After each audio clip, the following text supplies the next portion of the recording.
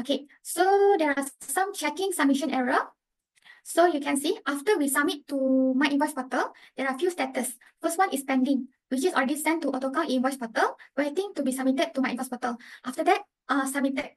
First submitted status, this means that invoice has passed initial structure validation, but still pending additional validation to be completed.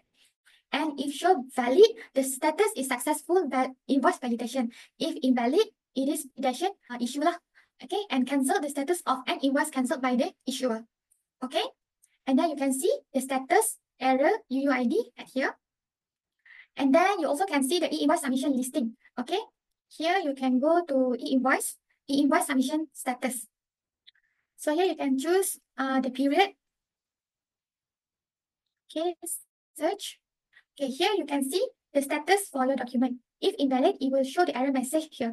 Let's say for this invoice, invoice issue date and invoice issue time. So issuance date time value of document is too old that cannot be submitted. Okay, so you can check the invoice status at here. Okay.